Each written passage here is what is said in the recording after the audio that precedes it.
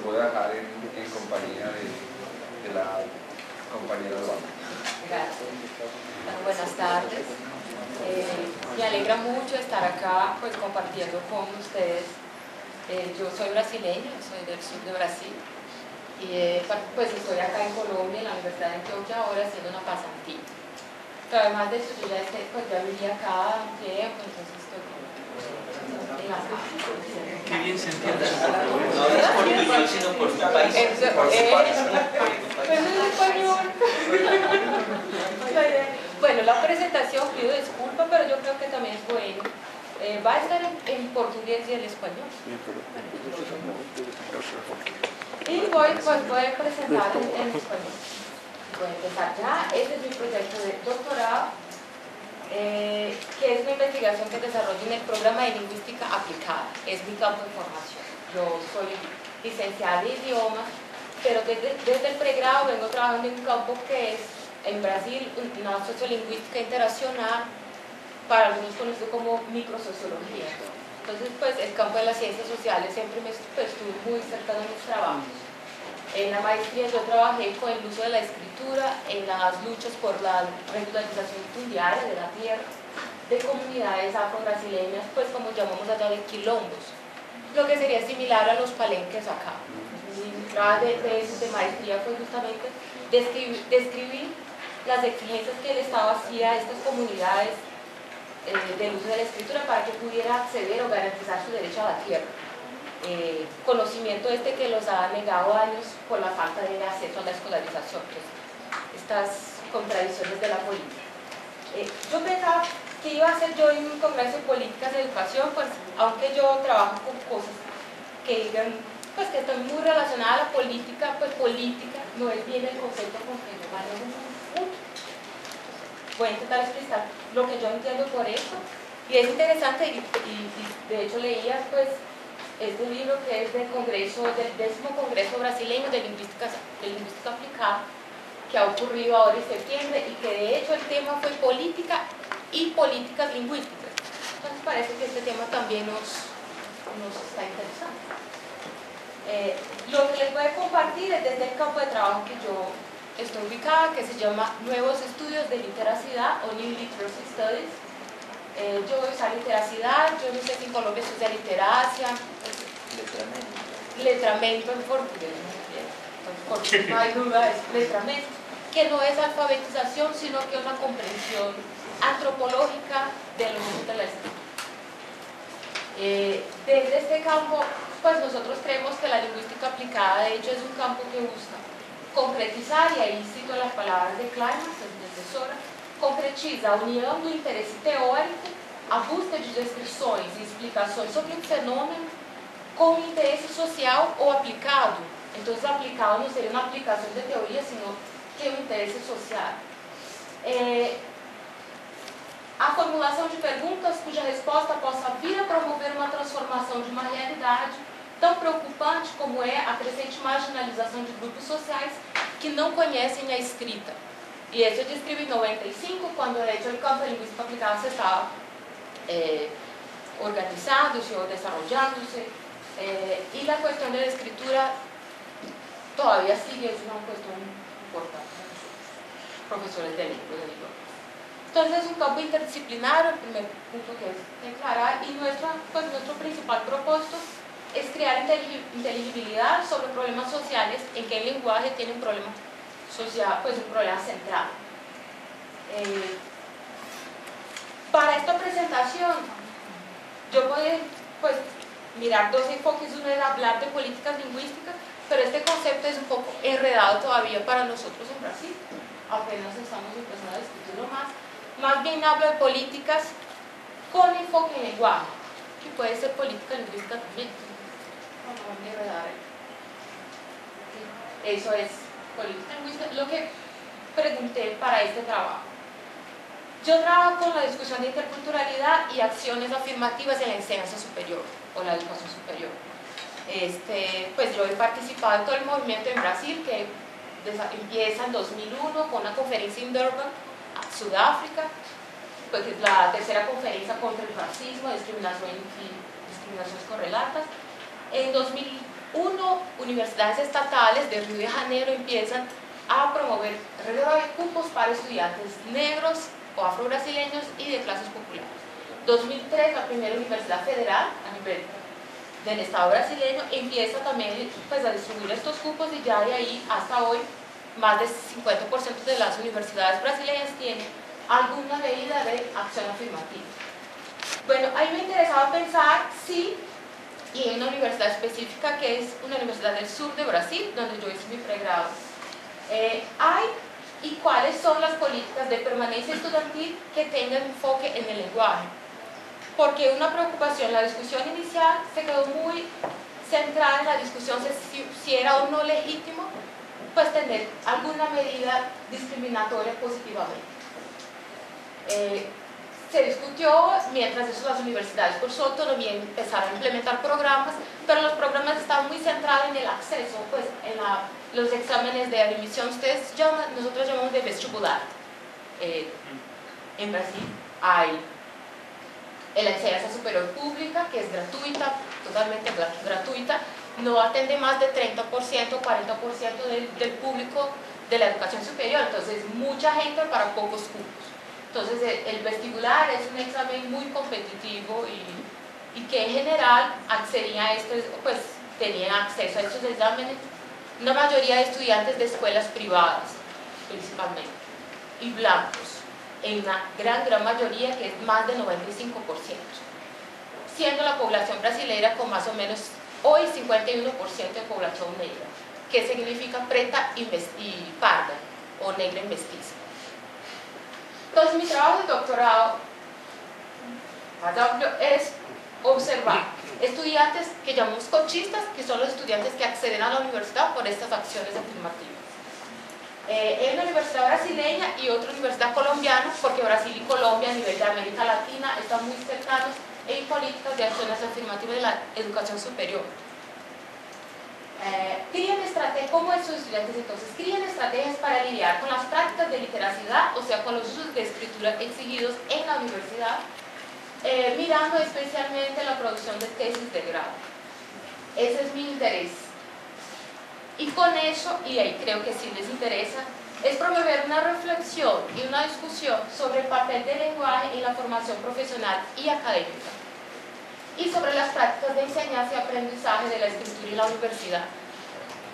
Bueno, desde este campo eh, nos parece muy importante pensar en concepciones de lenguaje que estén pues, circulando en el ambiente académico.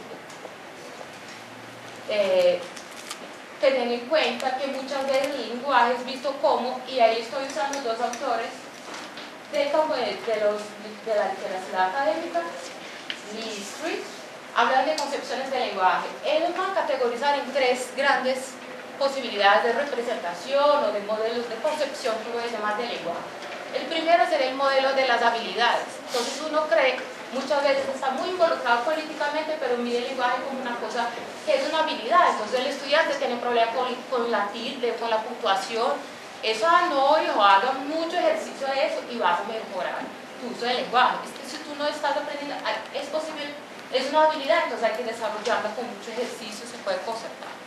Esta es una visión muy fuerte y que en general está junto a una idea del déficit, o sea, el estudiante no tiene la capacidad, entonces hay que desarrollarla. El segundo, y el problema ahí sería un gran énfasis en los aspectos superficiales del lenguaje, ortografía, gramática, puntuación, y no en aspectos discursivos. Pues el segundo ítem sería una, que les va a llamar socialización académica. Acá ya hay una preocupación en que el estudiante para aprender a escribir bien necesita usar esta escritura de verdad. Entonces vamos a socializar los usos de escritura de la universidad. ¿Cuál es el problema? Es que sigue con una mirada al lenguaje, que el lenguaje es una cosa transparente. Entonces yo aprendí a hablar bien en portugués, voy a hacerlo en español, voy a hacerlo en inglés y en cualquier contexto cuando en verdad no, no es así que ocurre. O sea, yo, yo hablo bien español y varios textos, pero el académico apenas ahora lo estoy desarrollando porque ahora estoy empezando a participar de espacios académicos donde necesito de español. Entonces uno puede desarrollar el lenguaje, pero para eso hay que participar y aquí hay una visión de que el aprendizaje del lenguaje se da por participación, pero no es algo neutral. Y ahí llego al tercer modelo, que sería el más cercano a nosotros, que es de las literacidades académicas. Y ya ahí el lenguaje es pensado como práctica social. Yo aprendo el lenguaje usándolo en algún contexto. Tal que yo lo aprenda, necesito participar de esos contextos. Entonces el modelo de literacidad académica tiene el propósito de formar un estudiante para negociar esas prácticas y que son prácticas conflictantes, porque hay relaciones de poder entre esas prácticas del lenguaje. No todas son valorizadas de la misma forma. Leer páginas de Facebook no es lo mismo que leer una novela, ¿cierto? Esos valores están también en relación a prácticas de grupos culturales. Entonces, por eso también me interesa especialmente este aporte teórico para mirar usos de escritura en un contexto en que la universidad es llamada a responder a diferencias o desigualdades raciales y étnico-raciales en la sociedad. Pues las acciones afirmativas en verdad son eso, diciendo a la universidad que ella tiene que posicionarse de alguna manera frente a las desigualdades que están en su contexto. Entonces de acá eh, hay investigadores que ya vienen investigando este uso de escritura en la universidad vinculándolo a usos o cuestiones de identidad y relaciones de poder. Zavala y Córdoba, por ejemplo, que son dos investigadores peruanos, desconstruyen, eh, desconstruyen el discurso de la crisis de la escritura en la educación superior, eh, discurso que también recurre, pues, que ocurre en Brasil. En sus investigaciones, pues diseñan la dificultad de la escritura apuntada por profesores y docentes desde un otro ángulo, que es a partir de las voces de estudiantes quechos que están teniendo una experiencia en universidades con acciones afirmativas.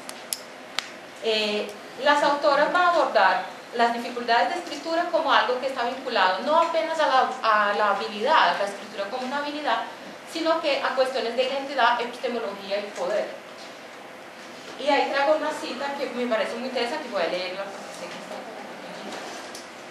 entonces, para ellas, en los últimos años, y diseñando este campo de literacidad académica, en los últimos años, la investigación en este campo de literacidad académica ha demostrado que las dificultades y por consiguiente los conflictos que emergen entre estudiantes y docentes con relación a la lectura y a la escritura en la universidad no se restringen simplemente a la técnica de la lectura y la escritura, eh, a las habilidades o a la gramática, sino a aspectos que están relacionados con la identidad, la epistemología y el poder esto quiere decir que la lectura y la escritura también se relacionan con nuestro sentido de pertenencia a la comunidad en la que intentamos formar parte, cuestiones de identidad, con las maneras de construir conocimiento, que estoy llamando epistemología, y con las valoraciones diferenciadas que se describen a las diversas formas de lectura y escritura que se practican en nuestra sociedad. Las autoras también advierten que la discusión en torno a la crisis de la escritura no es un problema exclusivo de estudiantes, en este caso indígenas y mi caso indígenas y negros, sino que algo que está generalizado en la educación superior. Y al contemplar estos factores, ellos presentan una descripción diferente de la crisis y contribuyen a un abordaje más situado y sensible a diferentes factores que generan sucesos y dificultades, éxitos y dificultades en el campo de la enseñanza de diferentes grupos.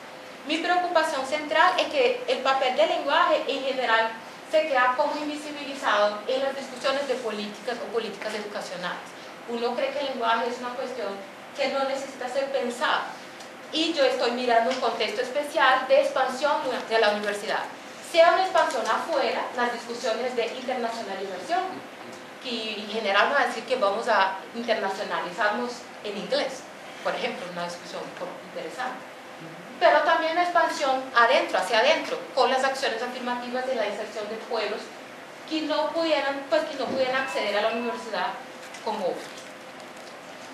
Eh, en este sentido, en las discusiones de acción afirmativa, si hay una perspectiva de inclusión desde un abordaje más decolonial, como voy a llamar aquí, o sea, la que está mirando que el ingreso de estudiantes negros e indígenas debería desplazar la universidad para otras formas de producción de conocimiento, que es lo que intenté escribir ahí con la cita de Silva y Silverio de 2003, que van a decir que la universidad en Brasil está sendo chamada a participar de uma correção de 500 anos de colonialismo, escravidão, extermínio físico, psicológico, simbólico de povos indígenas, bem como de negros africanos e de seus descendentes, assim sendo a presença numericamente significativa jovens de classes e grupos até então impedidos de frequentar os bancos universitários, deve levar a que as ideologias, teorias e metodologias que se sustentam e dão andamento à produção de conhecimento sejam questionadas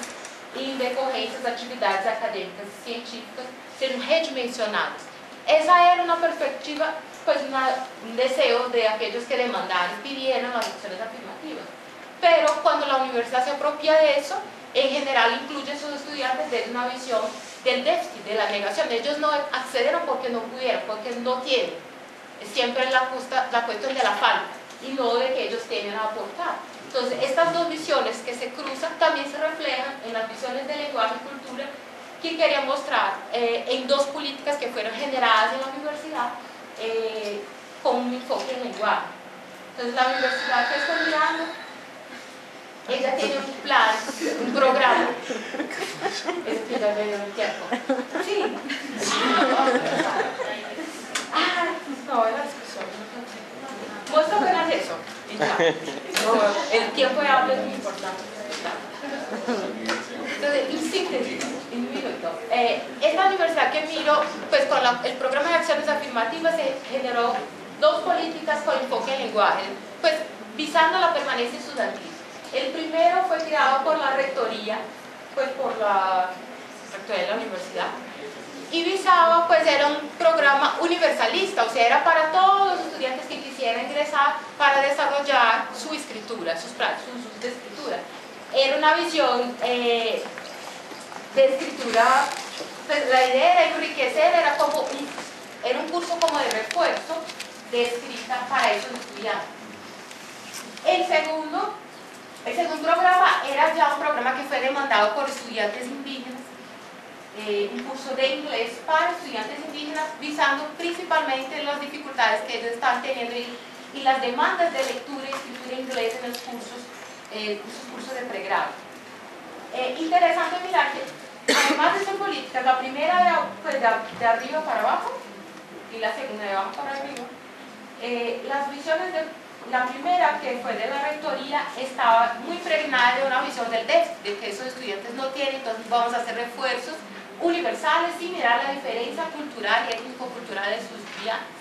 Mientras el curso, que sí fue demandado por los estudiantes indígenas, fue un curso basado en demandas reales del lenguaje que ellos tenían en su pregrado y a partir de esas demandas ellos ah, pasan a hacer pues, tareas pedagógicas de de inglés y lecturas y escrituras eh, más bien sucedido y, con esto pues, pues esos alumnos se mantuvieron en el curso hasta el final y a cada semestre siguen ahí. Y en el primer curso no hay ningún alumno que venga de, los programas de acción afirmativa generó que es un curso universalista para los estudiantes que ingresaron por el acceso universal.